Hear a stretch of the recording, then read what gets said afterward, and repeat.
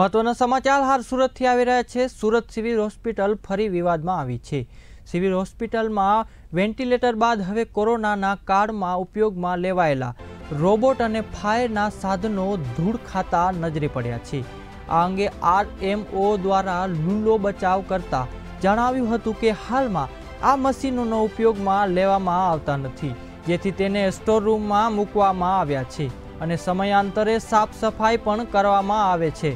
Surat civil હોસ્પિટલમાં corona કાળ દરમિયાન કોરોનાના દર્દીઓને દવા આપવાથી લઈને સમગ્ર કામગીરી કરવા માટે રોબોટનો ઉપયોગ કરવામાં આવ્યો હતો. આ રોબોટ સિવિલ હોસ્પિટલને દાનમાં મળ્યો હતો. ત્યારે હવે કોરોના વોરિયર એવા રોબોટ નર્સ ધૂળ ખાતું હોવાનું સામે આવ્યું છે.